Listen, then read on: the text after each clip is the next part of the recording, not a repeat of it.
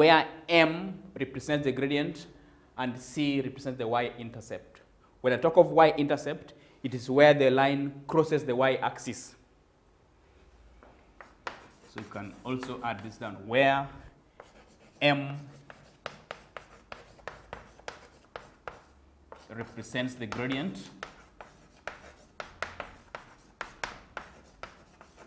and C represents the y-intercept. So it is the easiest to remember. So we're going to look at the following examples, how we use that equation to find the gradient of a line.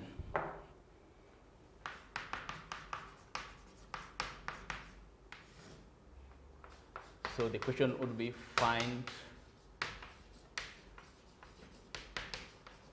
the gradient of these lines. So the first line would be y equals to 4x plus 2. So that is equation of a line. So what you need to do, just compare this equation with the general form of equation. Our general form of, of equation is y equals to mx plus c. And we say that letter m represents the gradient. Or you can simply look for the number in front of x. We call it coefficient of x. So when you compare these two equations, you will see that 4 represents m. Therefore, your gradient equals to 4. As simple as that. So you just need to use your eyes. M is the coefficient of x. Coefficient of x means the number in front of x. And take note, you need to make y the subject of the formula first. You can see from the equation, we have 1y. So at times, for example, they can talk of 2y equals to 10x plus 5. So at this point, you are wrong to say that the, the gradient is 10 because what you have here is 2y, but it should be 1y. So in this case, what you need to do, divide everything by coefficient of y. First, divide by 2, divide by 2, divide by 2. So that this 2 will cancel this. Now you have y equals to 5x plus 5 over 2. So from here, you'll be able to get your gradient as 5. So that is very, very important. So the second example, can have y equals to negative 2 third x minus 3.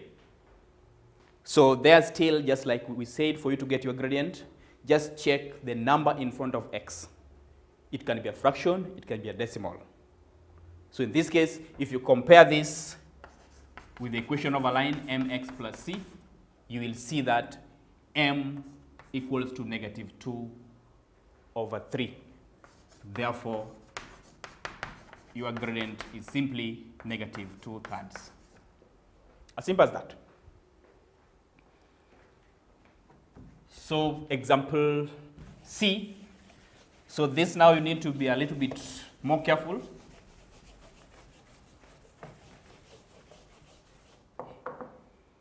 See now you have y equals to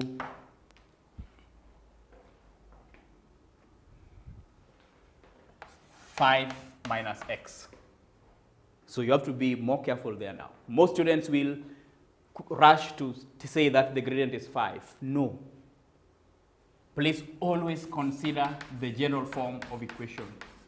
The gradient always given by m, the number in front of x.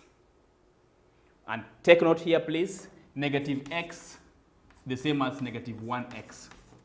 So in this case, upon you, just add 1 there, so that your gradient is now negative 1.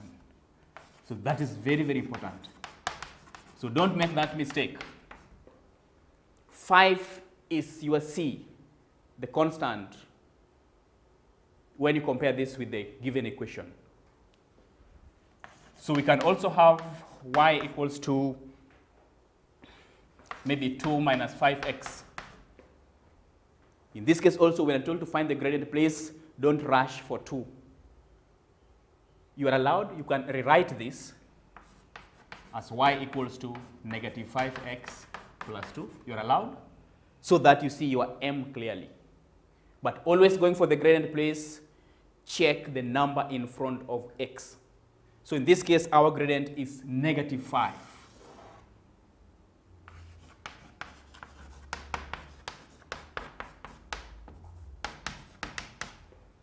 So now you know two methods on how to find the gradient. When you're given the coordinates, remember the formula. When you are given an equation, remember the general form of an equation. Hope that is very clear. So we are moving on to the next objective, that is finding the equation of a line given two points.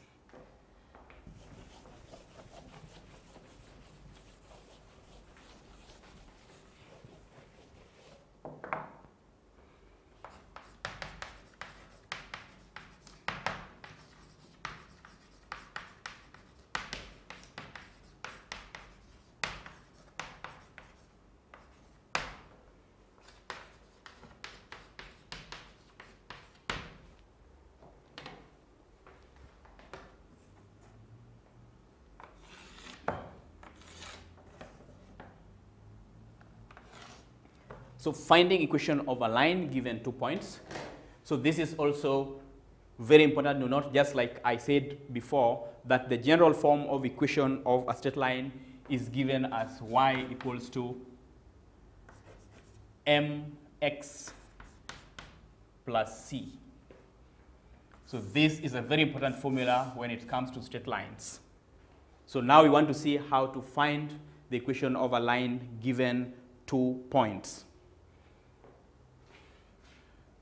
So another thing that you need to, to remember, please, for you to find equation of a line, you must know the gradient of that line.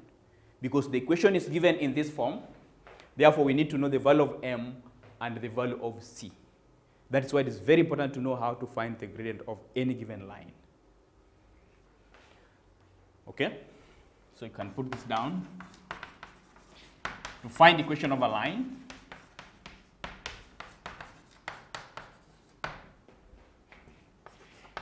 you must first find the gradient.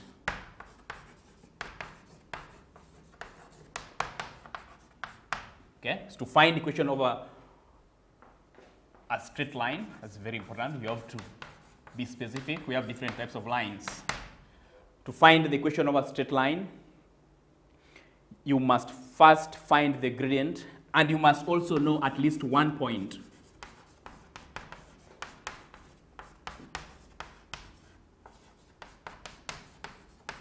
At least one point where the line passes through.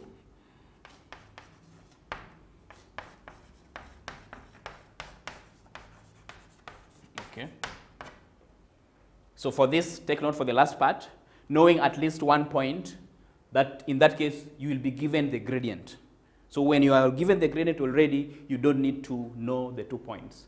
But when you're not given the gradient and you're told to find the equation, you will be given the two points. So we shall look at this example. The first example in this case.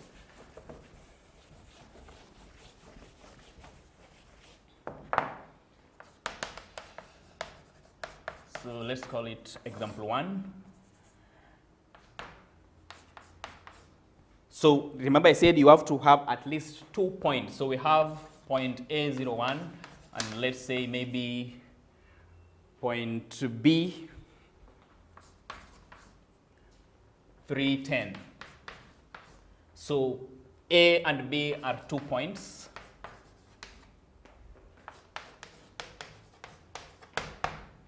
And our question is find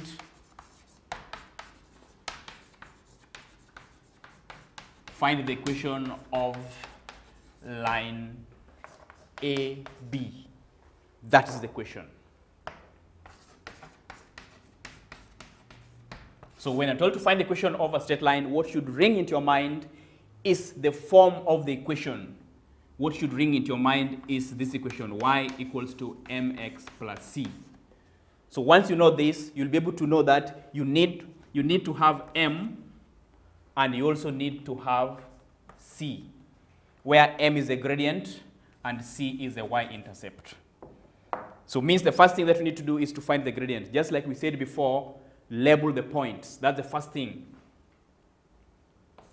x subscript 1, x, y subscript 1, x subscript 2, and y subscript 2. And write down the formula of getting the gradient. I insist, before you do any substitution, write this formula. It will not take you more than 10 seconds. So from that now, we have that 10 minus 1 over 3 minus 0. So that is 9 over 3, which gives us 3.